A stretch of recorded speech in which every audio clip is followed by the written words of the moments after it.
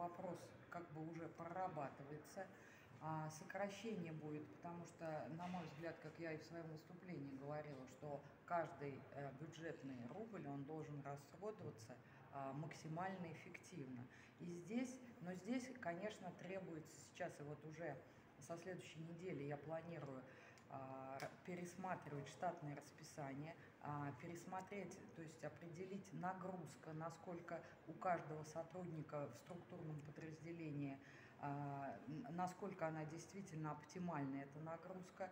И здесь по каждому структурному подразделению будет отдельный подход обсуждения штатного расписания с руководителем того или иного структурного подразделения и в администрации тоже, потому что я считаю, что нам необходимо высвобождать больше денежных средств на развитие непосредственно города.